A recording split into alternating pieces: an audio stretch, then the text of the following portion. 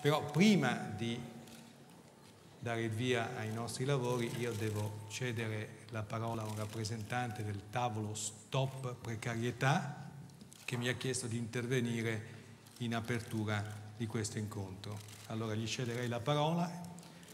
Il sono qua. è qua.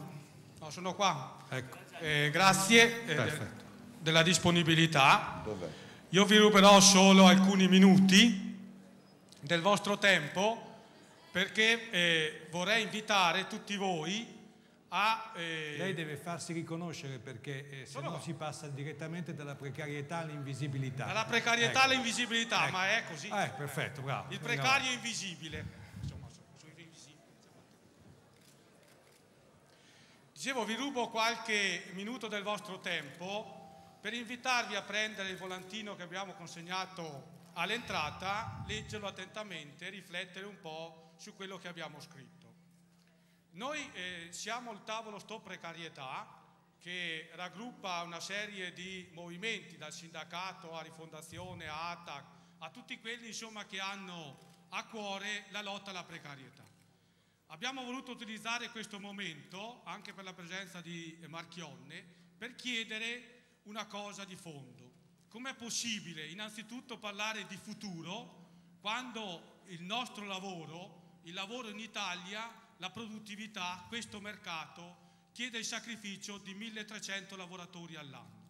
Significa che quattro cittadini, quattro lavoratori escono la mattina di casa e non rientrano più. Significa che quattro famiglie ogni sera non vedono rientrare i propri cari dal lavoro. Io credo che questa è una cosa inaccettabile quando si parla di mercato. È un sacrificio che non ha senso, è un sacrificio che deve finire.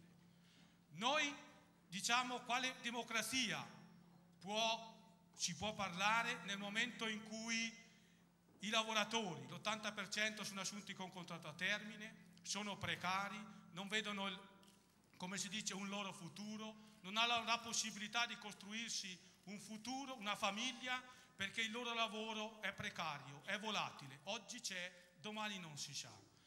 Riparto anche dal fatto che oggi la precarietà non è solo una questione di salario, di reddito, i quali hanno i redditi più bassi, del fatto che non puoi fare un mutuo o lo fai a, a tassi, voglio dire, esagitati, non puoi, come si dice, costruirti il tuo futuro, ma anche per il fatto che oggi la precarietà non riteniamo sia la causa principale delle morti sul lavoro. Infatti io penso che nessuno, non serve come si dice fare l'università o avere la laurea per capire che se si butta da quinto piano è facile morire. Però oggi succede questo. Lavoratori che lavorano in altezza senza imbragatura, senza le condizioni di sicurezza, Ognuno sa che se si toglie magari o non si utilizzano tutti gli strumenti per quanto riguarda la sicurezza ci si può rimanere sotto la pressa. E, purtro e purtroppo questo succede. Succede perché se non accetti determinate condizioni il tuo posto di lavoro domani non ci sarà più. Alla fine del tuo contratto non vieni confermato. Queste sono le cause degli infortuni e delle morti sul lavoro, che oggi non riguardano solo i lavoratori, ma riguarda anche qualche impresa, qualche azienda che è costretta e strangolata dai subappalti, magari anche lei opta per ridurre i costi rinunciando agli interventi e agli investimenti sulla sicurezza. E quello che è grave è che oggi abbiamo un'ambiguità da parte delle aziende, in modo particolare da Confindustria, che dice noi siamo per la sicurezza, poi chiede di modificare la legge che qualche regola sulla sicurezza vuole introdurre chiede che a farsi carico della sicurezza non siano le imprese ma sia lo Stato, cioè sia sostanzialmente quei lavoratori che oggi pagano con il lavoro e spesso con la vita la produttività e la ricchezza di questi, la, di questi padroni, perché così io li chiamo. Allora io credo, quale, quale futuro è possibile in questa situazione?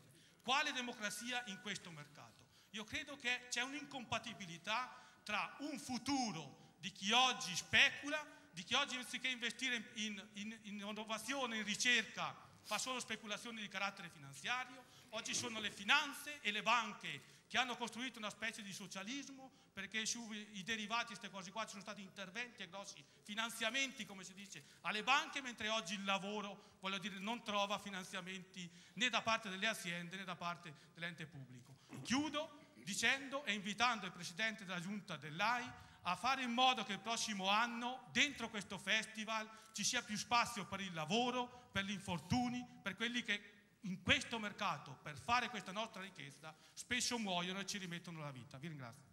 Grazie.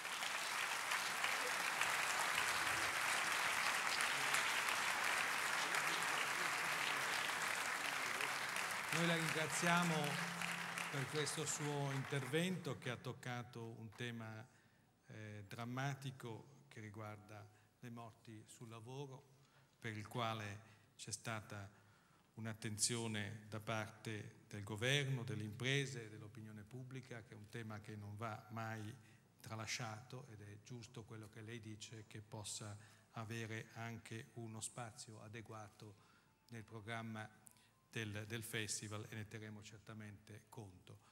Eh, il tema della precarietà eh, che lei ha sollevato all'inizio, eh, ci sarebbe da discutere se la precarietà è causa degli incidenti sul lavoro, ovviamente io credo che la maggior parte delle cause sia rispetto al lavoro nero, insomma evidentemente che è una delle fonti attraverso le quali non si applicano poi delle normative sul, sulla sicurezza del lavoro. Però il tema della precarietà che è stato sollevato da questo intervento, lo ringraziamo ancora, può far parte diciamo, della prima domanda che rivolgiamo questa sera a Sergio Marchione, amministratore delegato della Fiat, che ci fa l'onore di chiudere idealmente questo festival, questa terza edizione del Festival dell'Economia di Trento. Ecco, il tema eh, della precarietà, del lavoro dei giovani, della necessaria flessibilità che vogliono le imprese, ma spesse volte questi contratti a termine si trasformano in contratti a tempo indeterminato, insomma qui viene anche una forma di accusa che i giovani sono trattati male. Il governatore della Banca d'Italia diceva ieri i giovani in questo paese sono mortificati, c'è troppa precarietà nel nostro sistema. Guardi, la domanda è complessa. Eh, credo che i commenti del governatore Draghi ieri sui giovani erano, erano commenti con uno spazio molto più largo che ha a che fare col sistema eh, di educazione di, questi ragazzi e le opportunità che poi vengono offerte a loro eh, andando avanti.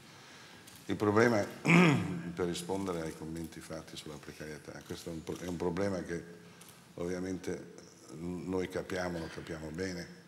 Um, stiamo chiudendo oggi il quarto anniversario del mio arrivo in Fiat. È esattamente quattro anni fa quando sono arrivati i discorsi uh, di assunzioni di giovani o di assunzioni di persone nella struttura della fiera erano completamente inconcepibili. L'anno scorso abbiamo chiuso l'anno avendo assunto 6.400 persone soltanto in Italia, 30.000 in tutto il mondo. Abbiamo convertito 2.000 precari in contratti a tempo indeterminato, quindi stiamo parlando di una Fiat che è completamente diversa che si sta comportando oggi credo, in linea con le aspettative di quello che è stato detto prima. Dettosi questo, il problema dell'impegno sociale dell'industria per quanto riguarda la precarietà è un discorso estremamente complesso, ha a che fare con un discorso che deve essere fatto, fatto con tutte le parti sociali, incluso il governo. Io ho detto apertamente che l'impegno nostro come la più grande eh, azienda industriale italiana è quello di saper gestire le conseguenze del mercato libero. Io non, continuo a ripetere che non sono nella minima posizione né di controllare la velocità né lo sviluppo del mercato libero, quindi lo accetto come un dato di fatto, cerco di gestire l'azienda in una maniera che dà all'azienda la capacità di, di competere. Um, siano, è, è, è, totalmente prevedibile che ci siano delle, de, delle, delle ricadute su um, alcuni dei nostri totalmente dovuto al comportamento del mercato. Se noi guardiamo il mercato americano, torniamoci un attimo dall'Italia, se guardiamo il mercato americano dell'auto, vediamo cosa è successo ai cosiddetti tre grandi dell'auto americana, un problema che è nato più di 20 anni fa strutturalmente, che non è stato mai curato alla radice e adesso la maggior parte di queste aziende si trovano in un mercato dove il prezzo della benzina è arrivato a 4,50 al gallone americano, e hanno una gamma di prodotti che è totalmente non adatta alle richieste del mercato. Quelle condizioni là, scelte sbagliate del passato, strategiche, conseguenze del movimento del petrolio inaspettato, vanno a creare del, del, dei, degli impatti enormi sulla domanda del prodotto e parlare di, di proteggere la, la, massa degli operai da quel livello di precarietà è completamente impossibile. Quindi o creiamo le strutture sociali per cercare di assorbire le conseguenze della, di, di questa flessibilità e quindi creiamo una continuità nel sistema lavorativo attraverso un impegno nostro di sindacati del governo e creiamo un'infrastruttura per gestirla, da reclamare soltanto e insistere che l'industria si assuma la responsabilità delle conseguenze del funzionamento del mercato libero sulla precarietà dei lavoratori per me non è un discorso che va molto avanti. Cioè va, va protetto di più il lavoratore del posto di lavoro. Va, va, protetto il lavoratore e quindi questo si ricollega anche al discorso sugli infortuni eh, che condivido con chi ha parlato prima che sono cose totalmente non necessarie. E posso dire da esperienze personali che sono state, eh, che abbiamo avuto in FIA negli scorsi mesi, dove abbiamo avuto de degli incidenti eh, totalmente inaspettati, alcuni di questi, anzi la maggior parte di questi qua, erano dovuti semplicemente al, al non rispetto delle regole che esistono nell'azienda per quanto riguarda la sicurezza industriale. E quindi non voglio dare colpa a nessuno perché le conseguenze sono state già totalmente negative, ma l'impegno nostro è quello di continuare questo processo di, edu di educazione dei nostri per fargli rispettare le, le, le regole che già esistono nel sistema. E la maggior parte di questi incidenti qua possono essere eliminati se uno poi rimane fedele a quella struttura di regole e di sistemi che abbiamo messo, abbiamo messo, abbiamo messo in fila. Senta, dottor Macchione, lei è stato precario nella sua carriera lavorativa? Se non ricordavo, no. Eh, quindi è andata bene, insomma, da questo punto di vista. No, beh, no devo dare una risposta forse un po' troppo affrettata. Io sono cresciuto in Nord America, quindi in, in Nord America tutti per definizione sono precari. Tutti. Certo. Io non avevo nessun contratto di lavoro che mi ha protetto durante la mia carriera. No? 56 anni, non ho mai avuto, e non credo che ce l'abbia nemmeno adesso, bisogna domandare a un legale italiano, ma credo che l'amministratore delegato non abbia assolutamente niente, ma ha detto che sono di fuori delle regole, quindi... Beh, questo naturalmente fa parte eh, del suo ruolo.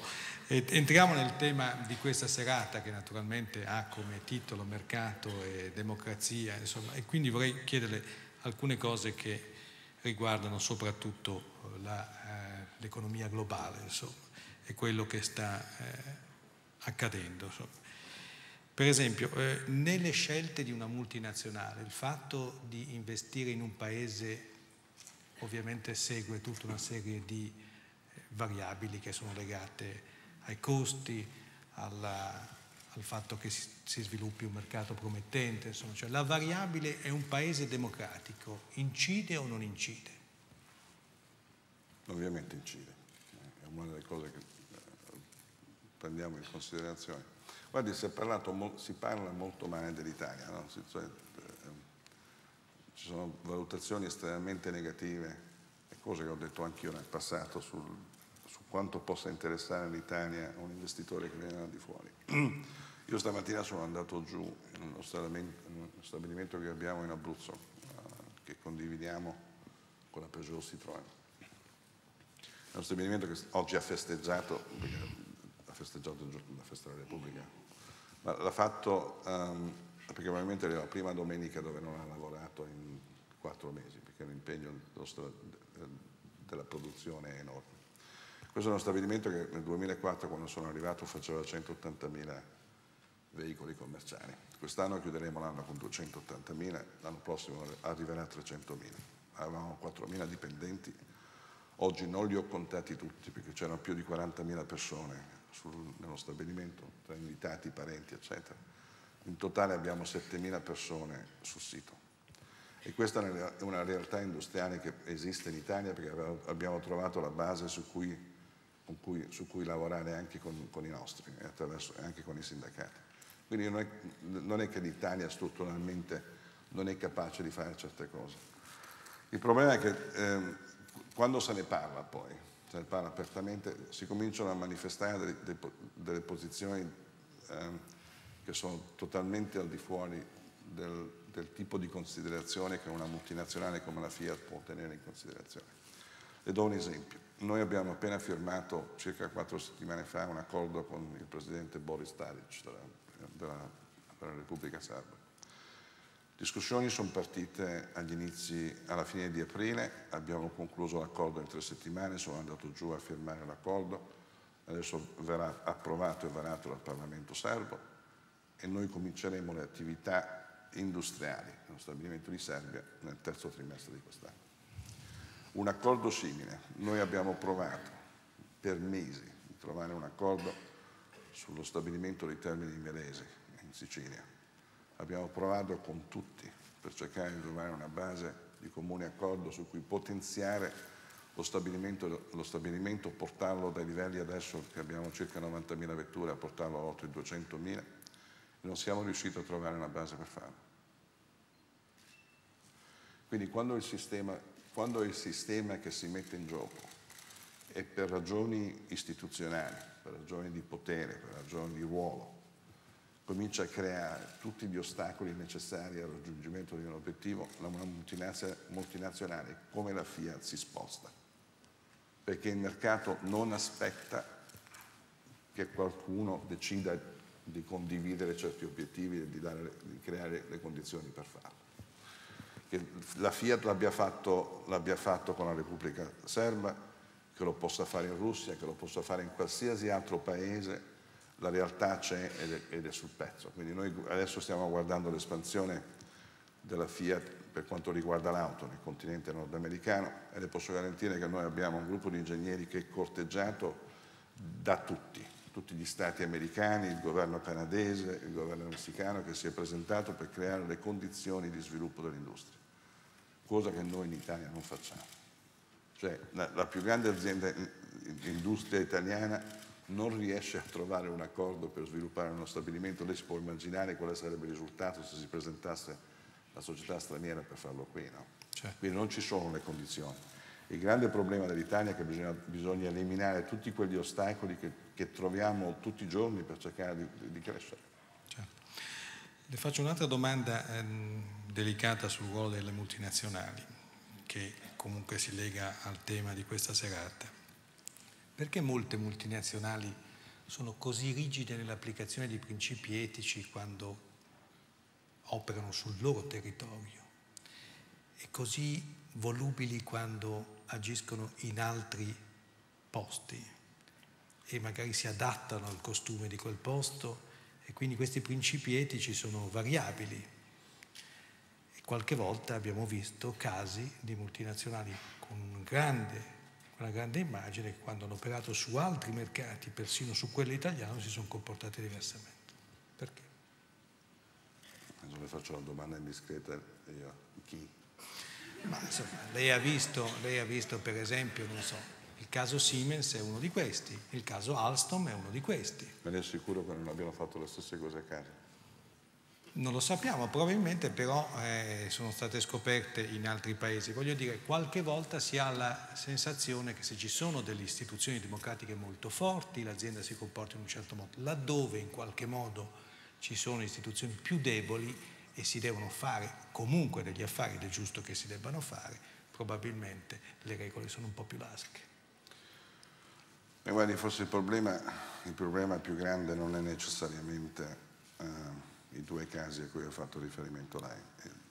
Eh, io non so se avete parlato qui del, um, del problema americano del cosiddetto oil for food, che è nata come um, un'analisi tecnicamente che è partita dalle Nazioni Unite che poi è stata abbracciata dal Department of Justice americano che ovviamente si è associata con la, con la Securities and Exchange Commission e quindi hanno cominciato un'analisi piuttosto dettagliata di gente che ha in qualche maniera ha creato base di commercio con l'Iraq quel tipo di intervento che io considero totalmente parziale, no? che ovviamente è motivato da, uh, uh, proprio un impegno politico dell'America verso, verso l'Iraq e che poi abbia delle conseguenze commerciali e anche punitive verso gente che ha intrapreso attività commerciali con i paesi limitrofi, è un, è un problema che io considero una pessima gestione di questo concetto di i principi etici universali. Una delle cose, di questo ho avuto esperienza anche prima di venire in Fiat, perché gestendo la SGS a Ginevra, che ovviamente aveva la capacità strutturalmente di trovarsi in situazioni simili, um, il, il, fatto di amministrare, di gestire l'azienda con questi principi piuttosto chiari a qualsiasi livello di intervento internazionale possiamo avere, è un, principio fondamentale. Noi non ci comportiamo in Cina in una maniera diversa di come ci comportiamo in Italia. E quando ogni volta che si è presentata un'opportunità dove per ragioni locali, istituzionali, ci sono state le richieste di deviare da questi principi, ci siamo rifiutati di giocare. È molto più semplice, guardi, lo posso dire, questa è un'esperienza mia e non voglio criticare né la Siemens né la Aston perché non so nemmeno i dettagli di quell'intervento. Non, e non vorrei universalizzare il problema dicendo che si comportano a casa in una maniera diversa di quando lo fanno. No, no, per carità, naturalmente sono soltanto degli esempi eh, con tutte le garanzie possibili.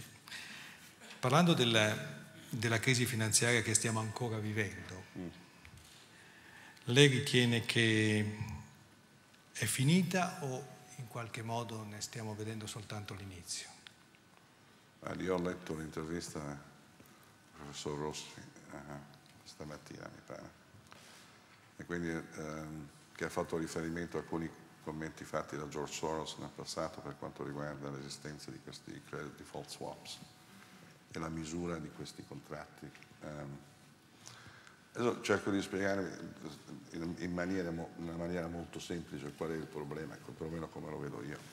Il problema del subprime è un problema che è nato da, proprio di una carenza strutturale del cosiddetto consumer protection che esiste in America, perché in effetti tutto il problema è nato da gente che non aveva né i mezzi, né la conoscenza, né la cultura per valutare quello che stavano firmando. Quindi il problema è che è stato creato lo strumento e poi il sistema finanziario americano, che in effetti fa questo come mestiere.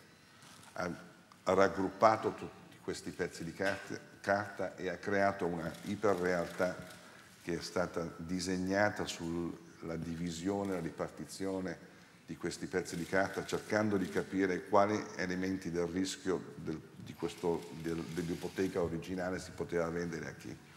Facendo questo lavoro qua si è creato un grandissimo sistema di distribuzione che ha creato realtà su realtà e quindi questi pezzi di carta sono andati a finire in mano a gente che se non gliel'avesse domandato se avevano un'apertura, una cosiddetta exposure al problema americano, avrebbero detto assolutamente no. Quindi quando li hanno avvisati poi che in effetti avevano, uh, avevano investito in una parte di quel rischio, sono rimasti scioccati quella gran parte lì del, del, del cosiddetto subprime è stato smaltito.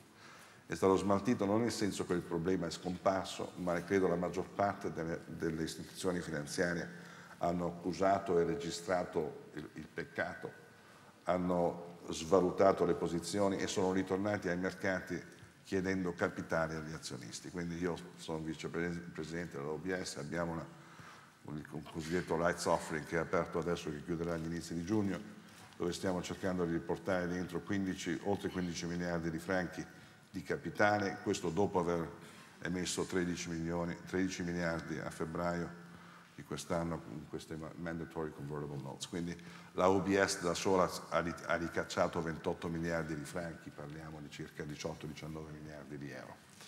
E quindi questo processo molto doloroso di risanamento del bilancio delle banche sta andando avanti e la maggior parte di quel risanamento là è stato concluso. Quello che condivido con il professor Rossi è che la realtà finanziaria è molto più complessa del subprime. C'è una realtà che esiste non solo in parallelo, ma che fa parte della realtà finanziaria americana che è stata creata appunto per togliere il rischio associato con delle operazioni lontano da loro e verso un mercato che è molto più aperto. Quindi il fatto di non usare più il bilancio della banca per finanziare lei che vuole fare qualcosa, ormai è diventata un'arte e una scienza per se stessa. Facendo questo si è creata su moltissimi fronti un'attività di eh, creazione di prodotti e di distribuzione di questi prodotti che stanno in mano a tutti. Quindi non so se i, 40, i 45 trilioni o 45 mila miliardi di dollari di valore sia il numero giusto. Vi posso dire che in tutti questi credit default swaps e qualsiasi tipo di, de, di, derivato che esiste, um, adesso le do un esempio pratico, per, per, non perché ha a che fare con l'OBS, ma perché ho, sono a conoscenza de, dei problemi della Bear Stearns. Uno dei grandissimi problemi di un um, istituto finanziario come la Bear Stearns, se, se, in effetti il lunedì mattina, quando è stato annunciato l'accordo con la JP Morgan, invece di annunciare l'accordo avessero annunciato che si, si sarebbero presentati in tribunale e fare non il Chapter 11 che è la procedura standard, ma avrebbero fatto il Chapter 7 perché non c'era niente da riparare, in quelle condizioni là non c'è la possibilità di risanamento. Um, il primo problema è che per questione di orario il sistema americano avrebbe aperto alle 9 di mattina, di lunedì mattina, e il mercato di Tokyo avrebbe cominciato a girare a mezzanotte. Quindi ci sarebbero state 9 ore o 8 ore in cui i mercati internazionali giravano senza avere la certezza che un sistema americano avrebbe accettato la richiesta e avrebbe fatto partire tutte le procedure legali necessarie per preservare la proprietà di chi aveva investito in Bear Stearns e tutte le aperture che aveva verso altri. Questo tipo di dipendenza internazionale che esiste e i sistemi legali che sono totalmente locali o nazionali sono totalmente sbilanciati. Quindi adesso il grande problema di questo gioco finanziario che vediamo è che c'è un'attività globale e un sistema di vigilanza e di amministrazione delle leggi che è totalmente locale. E quindi fino a quando questo, questo, questo, questo esiste, il rischio inerente nelle operazioni di questo sistema è enorme. Um, I credit default, default swap si scrivono con tutti. La Bear Stearns avrà scritto milioni di contratti, dico milioni per dire migliaia, non so il numero esatto, con, altre, eh, con tantissimi altri istituti finanziari che erano considerati a quei tempi persone totalmente affidabili come counterparty risk. E quindi questo problema è qua, che noi valutiamo anche alla OBS per vedere in effetti se noi firmiamo il contratto con lei come istituto bancario o finanziario, questo è un problema che viene gestito giornalmente. Il momento che parte uno di questi c'è il grandissimo rischio che venga contaminato tutto il sistema finanziario e in quel momento là la stabilità di tutto si mette. Quindi un intervento pubblico è stato giustificato, hanno operato bene, il rimedio è stato efficace. nel caso della JP Morgan non c'è stato un intervento pubblico, c'è stato un intervento di, di, di cosiddetto di moral suasion che è stato usato nel sistema, nel sistema finanziario per convincere tutte e due le parti a entrare in questa trattativa. È successo nel 1998-99 quando c'è stato il problema di long term capital, dove in effetti la, la, la, Banca Federale Americana è entrata e ha costretto le banche americane a assorbire il problema. La differenza è che dieci anni fa il problema era un miliardo di dollari, adesso parliamo di, di migliaia di miliardi e quindi il, il, il fungo è esploso, no? quindi è veramente grande. Adesso non voglio, non voglio terrorizzare nessuno, semplicemente dicendo che credo ci, ci servono delle regole ben chiare sul tipo di rischio che si può assumere sui bilanci delle banche e che ci sia un livello di trasparenza verso il mercato che è molto molto più dettagliato per quanto riguarda queste posizioni. Uno dei grandissimi um, delle abitudini nel cosiddetto reporting delle banche il concetto del netting, no? il fatto di prendere posizioni lorde, di scalare quando, le, quando, le, quando toglie 100 mi toglie 90 perché c'è una posizione nella direzione opposta, il numero è 10 e 10 non fa paura. Il problema è che se 100 ce l'ho uh, con lei e 90 ce l'ho con qualcuno che non mi ripaga. Questo nel caso Societe Generale, che insomma, è successa una cosa di questo tipo. Anche Tra l'altro credo che non abbiano molto rispettato il mercato, nel senso che si sono messi a a posto e poi dopo hanno annunciato al mercato. Non voglio, non voglio, non voglio commentare, eh, abbiamo ottime relazioni con Società Generale dal punto di vista industriale, è una banca che per, semplicemente per chiarire il cosiddetto record è stata vicina alla Fiat anche nei momenti più duri in cui avevamo bisogno di assistenza dal sistema finanziario, quindi li ringrazio, ringrazio Button e non voglio affatto giudicare il suo comportamento, ma la ringrazio su questo. No, no, c'è da dire che in, in generale, insomma, veramente, però tutto sommato se le grandi istituzioni è giusto che non... Si è perso il microfono, mi sa. Non si è, si è perso. Se le grandi istituzioni non, non possono fallire ed è giusto che questo sia avvenuto perché erano talmente intrecciati i mercati che questo avrebbe creato delle ripercussioni a catena difficili da gestire. Però è anche vero che in qualche modo così si premia anche l'azzardo morale, cioè sul versante dell'industria qualcuno sbaglia, poi paga fino in fondo. Su questa finanza qualcuno ha sbagliato ma non ha pagato fino in fondo. Ma no, non so, cioè gli azionisti di Bear Stearns hanno pagato. Hanno pagato nel senso che le azioni valevano cinque volte quello che poi hanno ottenuto dopo aver rinegoziato il contratto con JP Morgan. Il problema, il, il, il, il problema di, quando succedono queste cose, poi noi andiamo sempre a cercare le persone responsabili, no? perché come c'è un senso di, di come una vendetta, non l'abbiamo trovato, l'abbiamo punito. Il sistema finanziario non è tanto facile a trovare, a trovare la persona che è responsabile. La maggior parte di queste attività, quelle, queste attività che hanno creato il problema del subprime in tutti gli istituti americani, quelli finanziari sono stati fatti, se lei prende la UBS, parliamo di 82.000 persone, sarà stato un gruppo di 100 persone che ha creato il marchingegno. No?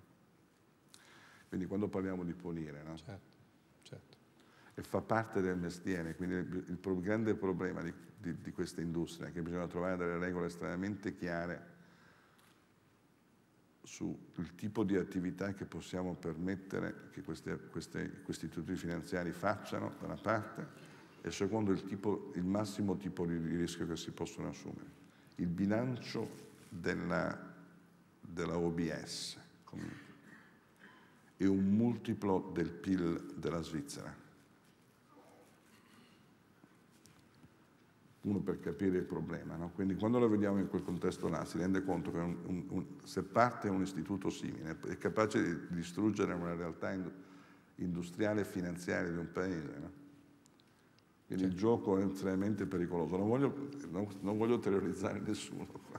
I discorsi fanno paura quando uno li ascolta, li, ascolta, li, li sente. No, ringrazio, abbiamo in qualche modo eh, così delineato alcuni aspetti diciamo, della crisi finanziaria e delle sue conseguenze. Volevo chiederle brevemente qualche giudizio sui nuovi attori di questa globalità, per esempio i fondi sovrani, sempre positivi? Non sempre. Quando non sono positivi? Va, bisogna analizzarlo caso a caso, bisogna vedere quali sono le motivazioni degli interventi, quali sono i loro obiettivi andando avanti. Ovviamente in questo, in questo sistema globale questa creazione proprio di, di, di, di, valori enormi in questi paesi um, è totalmente aspettata, cioè lo sappiamo. Quindi la capacità di investire e di muoversi uh, c'è. Cosa, bisogna stare estremamente attenti a, cosa, a che cosa apriamo. Ma le piacerebbe un fondo sovrano azionista della Fiat? Non mi dispiacerebbe avere un fondo sovrano, probabilmente lo è già, sì. non lo so. Del resto i libici quando entrarono a metà degli anni 70 quello era un fondo sovrano poi alla fine. Non, non c'ero.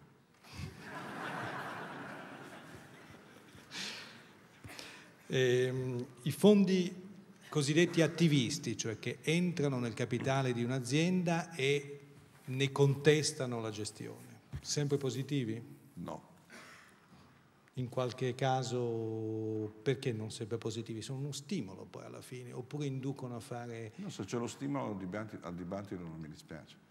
Io ho sentito tantissimi discorsi nel passato, gente che, eh, la maggior parte di queste persone sono, sono giovani finanziari che sono nati, e cresciuti in un sistema molto aperto di analisi, la maggior parte di questi qua erano i cosiddetti analyst, eccetera, che si presentano alla riunione degli azionisti ogni anno e cominciano a leggere quasi testi di finanza dicendo alla gente cosa fare. Questa gente che non ha mai gestito niente in vita loro. Um, e, Senta, e, sono peggio gli analisti o i giornalisti? Fino a quando lei è qui sono gli analisti. Il, il, il, grande problema credo che um, c'è una real, la, la, la, gestione di una realtà industriale molto più complessa um, noi viviamo giornalmente con una pressione enorme dai mercati sulla gestione del futuro dell'auto del gruppo Fiat. E noi riconosciamo, abbiamo detto questo apertamente nel passato, che se noi guardiamo proprio strutturalmente il gruppo vediamo che ci sono due elementi grossi. Uno è il cosiddetto capital goods che include i camion, macchine a movimento terra, trattori, motori industriali e dall'altra parte c'è il mercato dell'auto, incluso, i motori e la componentistica di quel settore. Il mercato fino adesso, um, proprio il mercato in cui c'è concorrenza, so, eh, ci sono due mercati che sono completamente diversi e quindi dal profilo di, di rischio e la possibilità di guadagnare nel mercato sono due profili completamente diversi. Quindi un'insistenza fenomenale dei mercati a creare due realtà industriali che poi in effetti possono giocare nel mercato e riflettere attraverso il valore delle azioni quello che è il rischio inerente nelle attività. Questo è un discorso che è nato, c'è stato qualche pazzo, l'ha fatto nel 2004 quando la Fiat perdeva un miliardo e 400 milioni all'anno, quindi era completamente inconcepibile parlare di spin-off. Adesso che l'auto ha cominciato a guadagnare, il discorso ritorna sul tavolo. Questa pressione continua, se, se è una pressione che invita noi a ragionare sul problema e a cercare di risolverlo, è un discorso ben accettato. Se, se diventa un discorso che poi costringe l'azienda a implementare certe manovre semplicemente perché va a soddisfare delle richieste che sono perlomeno temporanee dai mercati finanziari, io mi fermo tutto. No? Il mercato finanziario ha le sue mode e le ho viste, adesso mi sto invecchiando, quindi ne ho viste parecchie, no? ci sono le cose, eh, negli anni 60 i conglomerati erano le cose più intelligenti che poteva creare, dopo dieci anni sono diventate cose disastrose. No? E abbiamo esempi di aziende che sono, hanno avuto un successo enorme, se lei vede la General Electric, come conglomerato è uno dei successi proprio più grandi e più duraturi che abbiamo avuto nel mercato finanziario. E quindi ogni volta che questo discorso va avanti noi dobbiamo, dobbiamo e ci vogliono ore per continuare a rispondere a questa gente. Quindi gli attivisti sì, sono benvenuti, accettiamo, però la cosa importante è che sia gente che poi una volta spiegata la realtà dei fatti riescono in effetti a, a gestire anche la risposta. Nel caso della Fiat eh, ho riconosciuto l'esistenza del problema, ma ho anche spiegato che la gestione del gruppo di oggi, con il fatto che abbiamo creato queste attività trasversali, noi ci siamo incontrati, incontrati con alcune delle autorità di Trento prima di venire, venire qui in sala, il centro ricerca, centro ricerca, ricerca Fiat che è qui a, a, a Trento è un, è un, centro che lavora per tutti i settori della Fiat, c'è una comunanza di tecnologia e di, di, di e di, di know-how che ormai è diventato fondamentale. Separare quella realtà là per cercare di, eh, che poi io considero elementi essenziali per la competitività del sistema andando avanti. Tagliare quella realtà là adesso senza avere il, il sistema che mi dà la continuità di collaborazione attraverso i settori sarebbe la cosa sbagliata. E anche, e anche i fondi di private equity sono una moda oppure no? Beh, io sono una persona sbagliata, non, non, apprezzo il private equity affatto, non mi è mai piaciuto da quando ero giovane. Ah, beh. Se vuole dico anche perché, se lo vuole sapere. Eh, magari sì, siamo qui. Guardi, private, private, no, perché me l'ha accettato così volentieri. No, no, no, no, ero, no, ero preoccupato del, del, del microfono. Ma... Guardi, il private equity è nata dal concetto del, del management buyout, del leverage buyout degli anni 70-80 e io mi ricordo i primi che erano nati in America e mi sono fatto una domanda fondamentale. No? Come mai un management buyout funziona quando il management diventa responsabile per il beneficio finanziario dell'attività e non funziona quando la società è pubblica e ci sono tutti gli azionisti al di fuori? Questa è una domanda imbarazzante per tutti quelli del private equity. Eh, non c'è dubbio. Quindi se mi trovo la risposta a quella domanda là, poi magari comincerò ad apprezzarla. Beh, perché il, Mi sono sempre rifiutato di lavorarci. Beh sì, anche evidentemente poi c'è anche una, la possibilità di valorizzare quel gruppo, qualche volta ovviamente svolgono una funzione positiva, ma se la valorizzazione passa attraverso il cosiddetto break up, francamente forse qualche volta si mette a repentaglio anche una certa storia industriale. Sì, ma io non, non, credo che ci sia una manovra industriale che non può essere fatta nel contesto che non sia private equity. Cioè se crea valore lo faccio e basta. No? Certo. Senta, veniamo un attimo al nostro, al nostro, paese. Perché secondo lei questo paese si vuole così poco bene, ha così poca fiducia in sé e spesse volte dà di sé un'immagine che è largamente inferiore a quello che nella realtà è, non soltanto la Fiat, ma ovviamente tantissime realtà industriali, finanziarie, economiche, civili. È un paese che si sottostima, perché? Perché credo che le persone che ne parlano negativamente sono gente che vanno trovando spazio per fare cose che non stanno facendo a quel momento lì. No? Quindi non... cioè, il problema è che c'è una, una, realtà che non è molto piacevole in Italia, no? um, e, e, ne abbiamo parlato, infatti le ho detto prima che per attirare capi, capitali eh, dall'estero l'Italia proprio non ha le condizioni nemmeno per farlo. No? Quindi ci sono delle, delle cose così, così ingessate e incrostate nel sistema che proprio bloccano anche... Ma non solo per ragioni di costo, sono ragioni No, no, guardi, le, le posso garantire che non è affatto questione di costo. Cioè, dal punto di vista di, di, di, di costo ci sono le cose bisogna, bisogna, su cui bisogna intervenire, ma non è quello il grande problema. Il problema è che proprio è, è molto difficile fare qualcosa in Italia, mm? ma su tutto, permessi, creazione di organizzazioni, accordi sindacali. Um, guardi, noi abbiamo cercato nella regione del, Piemonte, parlo di Torino adesso, di um, ottenere un accordo sindacale su lavorare 17 turni, produrre di più perché stiamo vendendo di più, grazie a Dio. Impossibile. Ma poi siamo andati a 80 km da Torino a Verone, abbiamo firmato l'accordo con la provincia, la città di Verrone dove in effetti andre, andremo a aumentare il numero degli organici da 400 a 1000 persone, la maggior parte di questi 400 eh, sarà gente che andrà in pensione nei prossimi 4-5 anni, quindi abbiamo creato 1000 posti di lavoro in un campo molto, molto tecnico e l'abbiamo fatto in questione di 60 giorni. Quindi c'è una realtà che non è affatto uniforme. Um, e, e, e quello, questo lo, lo, rende, lo, rende, il paese non gestibile. Uno che viene da di fuori non sa se andare a Veroni o a Torino, no? perché a Veroni magari le cose si fanno, a Torino no.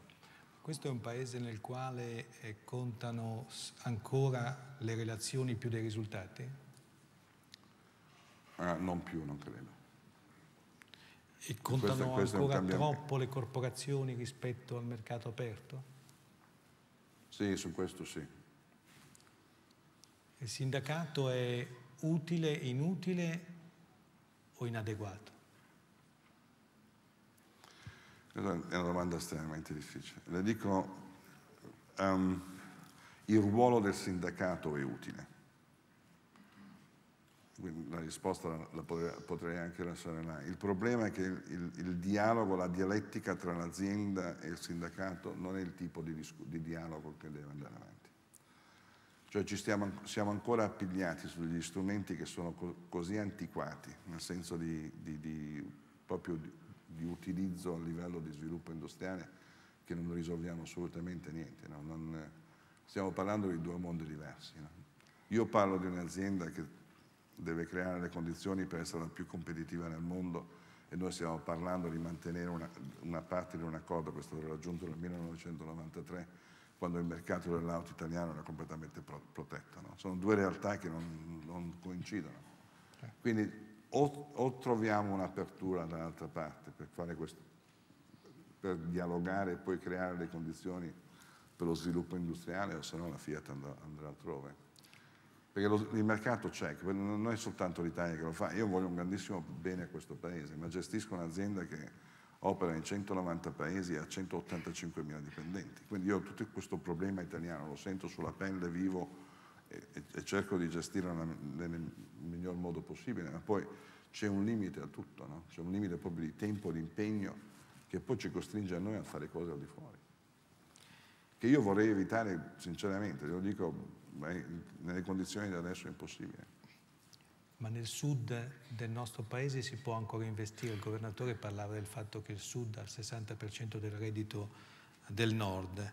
C'è la possibilità di fare bene ancora al sud? Sì, ma da quello che so io, eh, a Tessa, in provincia di Chieti, quindi a, a sud del Po. Non c'è dubbio. C'è un problema di salari bassi e di redditi inadeguati nel nostro paese, un problema sociale che come si possono aumentare questi salari? Beh, alleggerendo le, proprio l'onere sociale associato con il, salario. Se lei vede quello che, prende, quello che prende netto uno dei nostri dipendenti, dopo che noi abbiamo pagato tutto quello che bisognava pagare, è una cosa ridicola, questo è un salario originale che era X. Non è mai successo, non credo, non credo, stavo leggendo una statistica che mi pare che siamo o il paese più basso in Europa uno dei più bassi. E non è uno scandalo secondo lei l'enorme differenza tra il salario di un suo dipendente e la sua retribuzione? La, mia, la, la maggior parte de, della mia retribuzione è totalmente variabile. Quindi se non, se non porto i risultati becco zero. Ma... E sono disposto a giocarmi, per usare il professore di giocarmi staccata d'azzardo, no? nel senso, gestisco l'azienda. Ma se è giusto che ci sia una parte variabile consistente che premia i risultati, perché quando i risultati non ci sono l'azienda perde e il manager non paga? perché l'accordo non è quello di contribuire al risanamento del, dell'azienda, cioè è un contratto di lavoro fondamentalmente. No? Io la pago tanto, se ce la fa la pago X più Y, se non ce la fa pago soltanto X, se non funziona per niente la mando a casa, no? cosa che sono disposti a fare con me. Io sono il più precario della Fiat, no? nel senso che è un contratto che può essere determinato quando, dal Consiglio di amministrazione quando, quando vuole il Consiglio, può essere chiuso. Senta, come... Mh come giudica la governance di una, di una grande società? C'è troppa burocrazia anche nelle aziende, ci sono troppi comitati, troppe cose, cioè, non, non, è che nelle aziende in qualche modo si rischia di ripetere quello che accade qualche volta nella pubblica amministrazione? C'è troppa burocrazia nelle aziende? No. no. Guardi, io ho visto il sistema, c'è stato un grandissimo lavoro che è stato fatto dopo questi casi eccezionali americani um, che ha creato la reazione americana che è totalmente sproporzionata dal SOX. No? Adesso ritornando al discorso del rischio finanziario, noi la Sarbanes-Oxley come struttura legale è applicabile alle realtà industriali come lo è a quelle finanziarie. SOX, legge diciamo che è stata fatta dopo il caso Enron. Tutte le regole, i cosiddetti i controlli interni, la certificazione da parte dei, degli auditors dell'esistenza dei sistemi di controllo.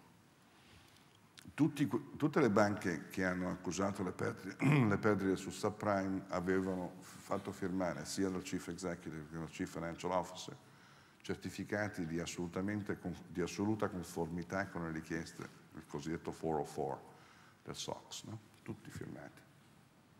Tre mesi dopo 10 miliardi di perdite,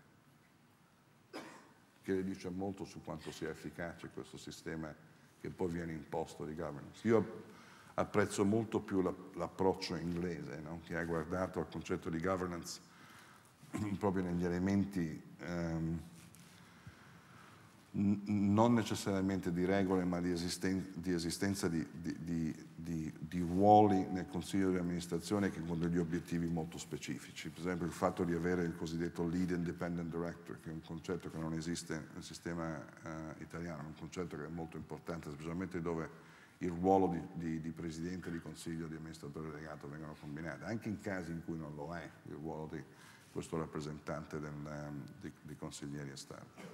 Io credo che c'è moltissimo lavoro ancora da fare, ma um, non credo che stiamo arrivando a un, a un livello di buro, burocrazia in governance che bloccherà un'azienda. Ma Io la non, governance non considero... duale non è eccessiva per certi versi, non so. No. grandi banche che funzionano una governance. No, adesso mi sta, mi sta, cacciando in un altro discorso. Io non no. sono questo. No, glielo, dico, glielo dico perché non, non, non, ho il problema che hanno le banche. Cioè questo doppio, doppio consiglio che esiste altrove, non ce l'ho io. E i consiglieri indipendenti sono utili, ci sono in Italia o quando ci sono, come direbbe il professor Rossi, sono dei financial gigolo? Questo non l'aveva sentito. Um, no, io guardi, io faccio parte di un paio di consigli, quindi mh, mm, eh, per definizione non posso definire il mio contributo inutile. No? No, certo. Qualcosa cerco di fare in quel contesto. Io credo che aiuti molto, se, viene, se, se uno poi in, in, effetti prende l'impegno in una maniera ver, vera, seria, no? di, fare, di contribuire al dialogo, che in effetti deve essere un dialogo sullo sviluppo della strategia e sulla scelta dell'amministratore delegato. Queste sono le uniche due cose che può, può fare un consiglio, il resto non, è così distaccato dalla realtà gestionale che non può fare nient'altro. Quindi io continuo a insistere sul fatto che la più grande responsabilità che ha il Consiglio di amministrazione di un'azienda è quella di scegliere l'amministratore delegato. Uno sbaglio fatto a quel livello là distrugge la realtà industriale in 12 mesi. Eh. Senta, ma eh, gli amministratori delegati italiani fanno troppo ricorso ai consulenti esterni? Fanno troppo? Ricorso ai consulenti esterni? Io le posso dire sono una cosa che non li uso. Ah bene, grazie. E questo non per scoraggiare i giovani di andare a queste, a queste, queste, queste istituzioni che sono globali e che hanno grandissime capacità. Io non, non ho mai, le ho, ho, provato a usarle nel passato, ho, in alcuni casi ho trovato su, su campi molto spe, specifici e su punti che magari non conoscevamo um, un, delle conoscenze del mestiere che non erano nostre, quindi su quello l'apprezzo. Sulla gestione dell'azienda, anche dal punto di vista organizzativo, mi rifiuto di ascoltare ad altri. Senta, come, qual è il metodo Fiat per scoprire i talenti e valorizzarli in azienda? Il metodo Fiat. Guardi, io adesso lo posso dire perché ormai eh, il grande problema della gestione del, dell'incubo che abbiamo ereditato nel 2004 è passato. Ma metà del, del mio tempo eh, è, è, totalmente dedicato allo sviluppo e al processo di identificare i talenti nell'organizzazione. Quindi è un dialogo continuo con, con, con giovani, non giovani, non importa, con la struttura di dirigenti del gruppo per cercare di identificare questa gente e dargli, creargli le condizioni per, per crescere e sviluppare. Quindi non, è, è, è, basato su... Noi abbiamo dei valori molto chiari su cosa significa essere un leader. No? Non, non, non li ho portati con me quando sono arrivato nel 2004, ci ho lavorato per dieci anni intero, no? interi, e, e lo, li ho raffinati, alcuni erano completamente sbagliati, ho imparato, ho cambiato con altri, ma la struttura è rimasta, è rimasta quella che è. Quindi il, il fatto di, di cercare in, quest, in, questi, in questi di, dirigenti la capacità di guidare le persone, di guidare il cambiamento sono due, due colonne fondamentali. Poi come le andiamo a declinare in, in, attributi particolari dipende dal... Ma qual è la qualità che lei richiede in un giovane al di là del suo livello di preparazione?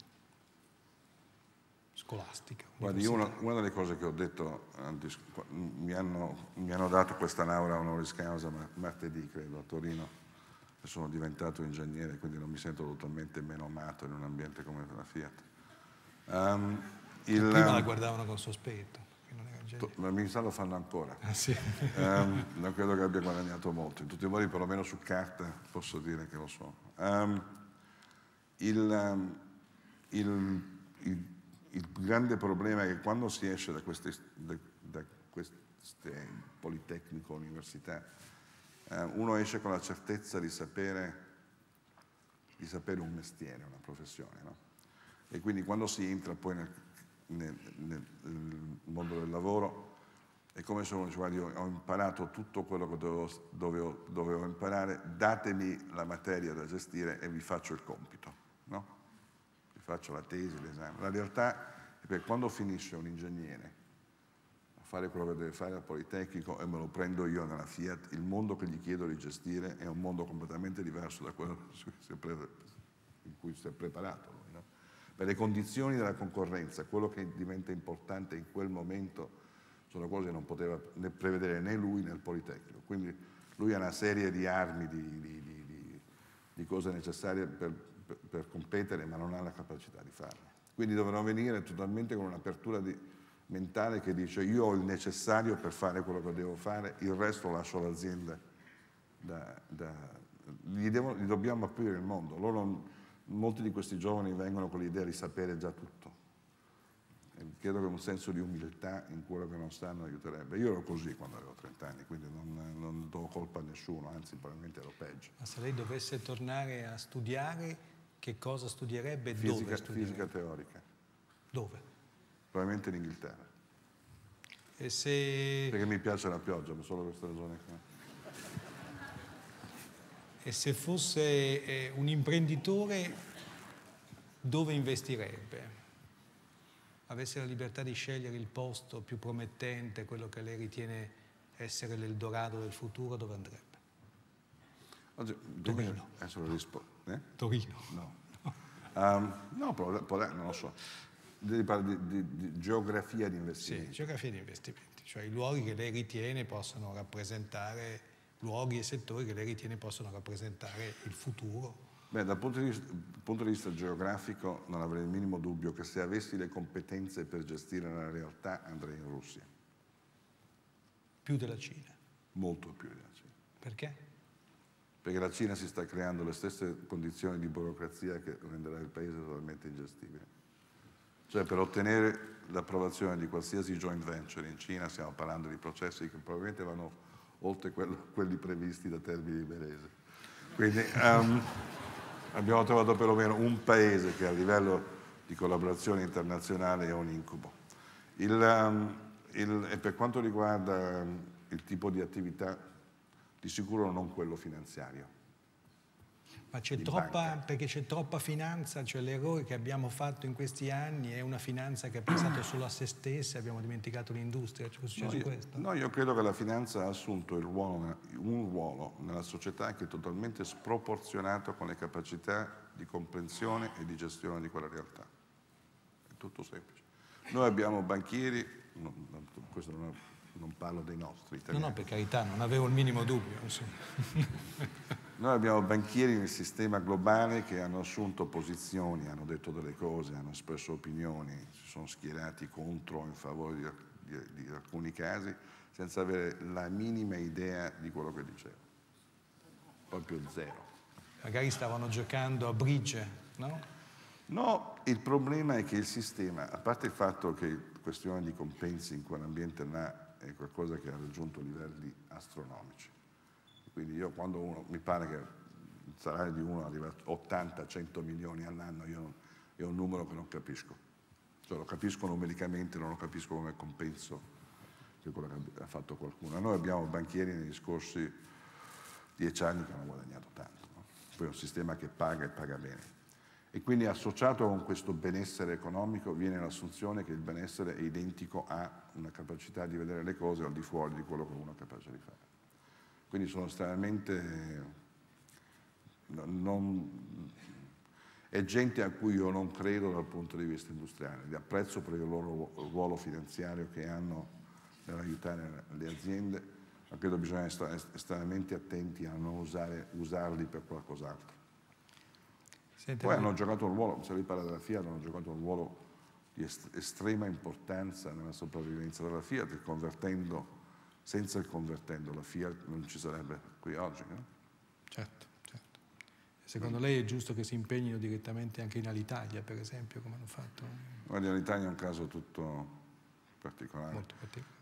No, eh, guardi, lei mi, mi, dica perché è l'unica società europea che non, l'Alitalia è l'unica società, compagnia aerea europea che non guadagna. La, la, la chiedo, no, ma io c'è una domanda fondamentale, no? perché poi il resto ce l'andiamo a domandare altrove. Quale, perché non guadagna? L'unica in Europa. Cioè avere questo pregio in casa non è una cosa che proprio...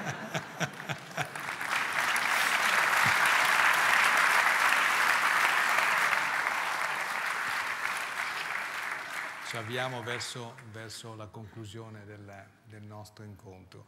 Le volevo chiedere, generalmente in azienda si fanno delle previsioni su dove andrà il dollaro, dove andrà il petrolio, come, la, come saranno i mercati nei prossimi, nei prossimi, mesi.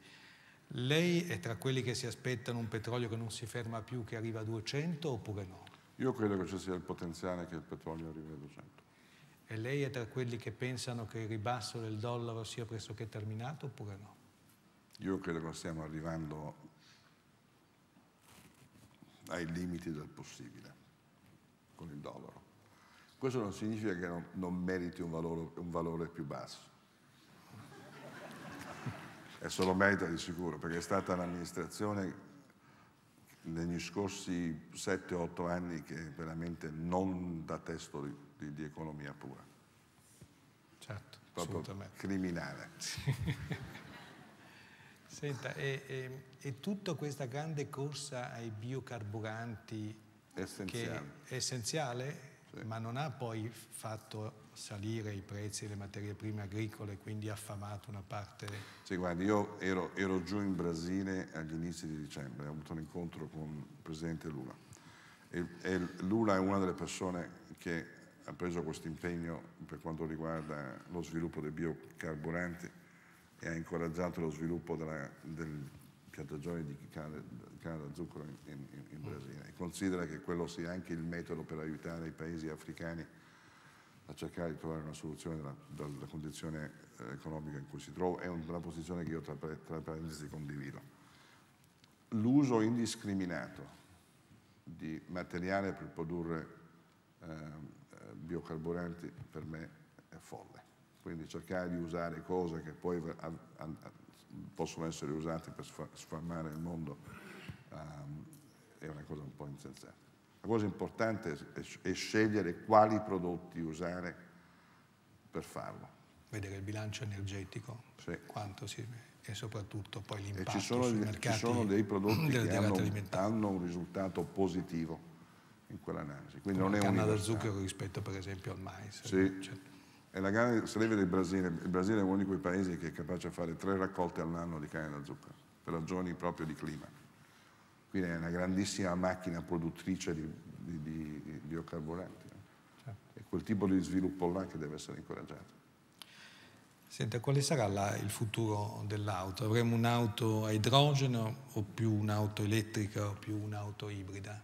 Tra dieci anni cosa succederà? Ibrida.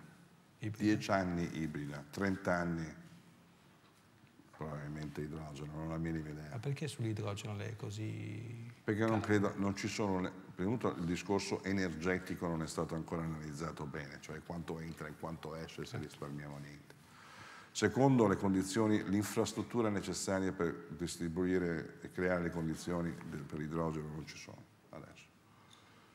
E quindi un paese come il nostro che non è capace nemmeno a creare una rete di distribuzione di metano, che è uno dei carburanti più efficienti che abbiamo, in cui tra parentesi la Fiat è il leader mondiale. E me lo eh? Cerco di vendere macchine, un taccuino fuori, prendo ordini per camion, tutto. Uh, il, il, il, la cosa importante è, è, è, è vedere in quale tempo si possono fare queste cose. Quindi cercare di sognare soluzioni che magari avverranno fra 30 anni non vale la pena. Noi abbiamo un problema, abbiamo un problema oggi di CO2 che non è soltanto un problema europeo, ma è un problema mondiale. Io sono andato in Cina 6-7 mesi fa, non mi ricordo nemmeno, ed ero là a trovare il vice premier del, uh, cinese e sono andato nella cosiddetta Forbidden City, dove so, ci sono tutti i funzionari del governo. Era una giornata un po' scura, c'era un cielo veramente proprio grigio. E ho domandato al nostro interprete cinese perché era, era così, mi ha detto guardi, dice è la nebbia. Beh, non è la nebbia, no. E quindi stiamo creando dei livelli di inquinamento dell'atmosfera che se continuiamo ad andare a questo ritmo qua andremo a ammazzare il, pianeta. No? E non è l'auto soltanto che crea, che è parte del problema. Fino a quando continuiamo a bruciare, a bruciare carbone, eh, come lo stiamo facendo in grandi parti del mondo, il problema non se ne andrà. Quindi credo ci sia un intervento proprio importante.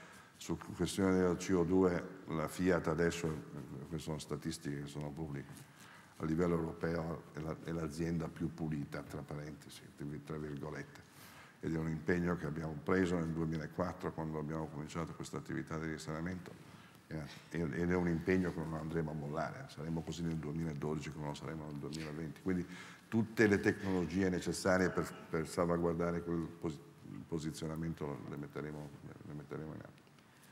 Ci avviamo alla conclusione, ma la BMW ibrida in Formula 1 deve preoccupare Montezemolo? No. Io mi fermerei alla BMW. Ah, senza ibrida. No, con o senza. Sì, con o no? senza, perfetto, perfetto. Questo un po' di orgoglio nazionale ci sì. vuole, no? Sente, eh, ci sarà poi, non ridete eh, perché c'è un progetto serio su questo, l'auto che vola ci sarà? Non ho minima idea. c'è questo progetto israeliano in cui tra l'altro è investito anche De Benedetti su questo avveniristica auto. In, in, te, in, in, tempo nel futuro probabilmente sì. O perlomeno ho visto un paio di film che ce l'avevano. Sì. Senta, qual era l'auto simbolo di quando lei era giovane? Anzi, più giovane, mi scusi. No, giovane. um, l'auto simbolo? Sì, l'auto che le piaceva di più. Può anche non essere una Fiat, eh? Beh, la macchina che mi piaceva molto era la Jaguar XKE. E infatti è una delle macchine più belle che, che sono state mai fatte. E l'ho avuta una, da studente. Ho comprato un catorcio che aveva dieci anni, ho speso tutti i soldi che avevo per rimetterla su e non è mai partita. E questo bisognava dirlo infine perché sennò era uno spot per la Jaguar. Senta, è un libro che, eh, che consiglierebbe eh, di leggere dopo questo bel festival di Trento che in qualche modo ha così segnato i suoi anni migliori, che lei consiglierebbe di leggere ai suoi amici, ai suoi, ai suoi figli, insomma. Che libro consiglierebbe? Su qualsiasi cosa. Massima libertà di risposta. Mm. Probabilmente la morte di Ivan Illich di Tolstoi. Ma questo perché... No.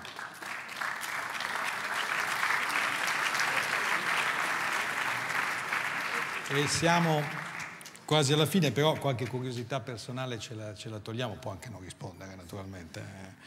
E invece il film che l'ha, segnata di più, che l'ha, colpita di più, che in qualche modo l'ha accompagnata come film di formazione, insomma, o anche uno recente. Insomma.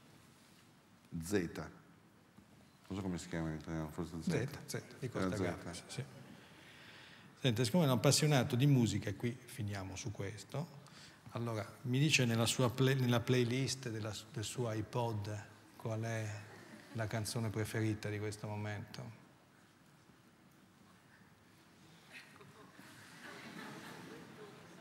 La, la favorita? Beh, una delle favorite. Per me è una di McFerrin. Eh. Ma non perché ascolto anche altre cose, ma l'ho scoperto di recente. Un pezzo non l'avevo mai sentito. Quindi non mi ricordo nemmeno come si chiama, una, mi pare Circle Song. Perfetto. Allora noi su queste note, che tra l'altro sono anche molto belle, terminiamo questo nostro incontro con Sergio Marchionne, che ringraziamo per quello che ci ha detto, per la sincerità, per la spontaneità con cui ha parlato con noi. Naturalmente lo aspettiamo il prossimo anno, la quarta edizione del Festival dell'Economia di Trento. Ma vengo, vengo, mi siedo l'anno prossimo. Sì, ma poi la chiamiamo. Sai, sono, sono le, mi siedo con il professor, professor Sì, ma poi la chiamiamo, la chiamiamo e la facciamo salire. Grazie a tutti, buonasera.